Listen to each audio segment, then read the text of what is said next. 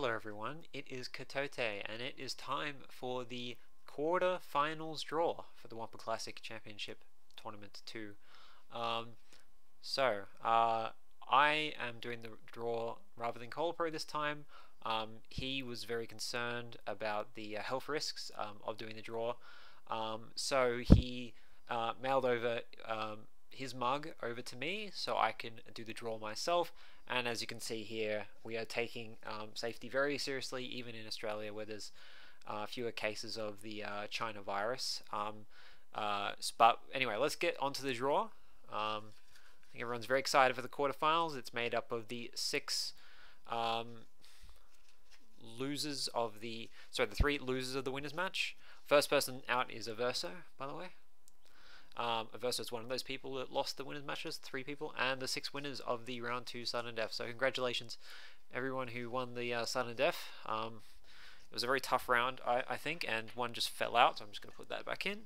Um, the person I have now drawn out is MTB. So MTB um, was in Group E. Averso was in uh, Group um, uh, uh, C, so they have not matched, so they can race each other. That's perfectly fine.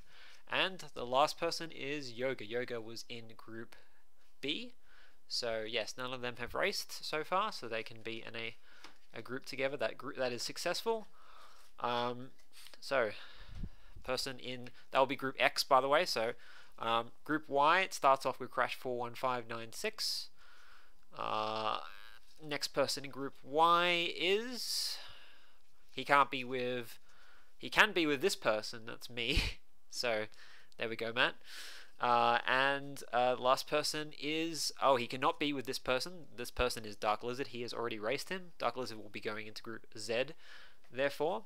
Um, but the last person in group uh, uh, uh, Y is Vinny Huber. So yep I was in group uh, B Matt was in group A and Vinny was in group uh, E. So that that's all that's all fine. So that remains the last two people are and are uh, who was in group F. So that's different Dark Lizard who was in group A, and Placyhole who was in group um, uh, D.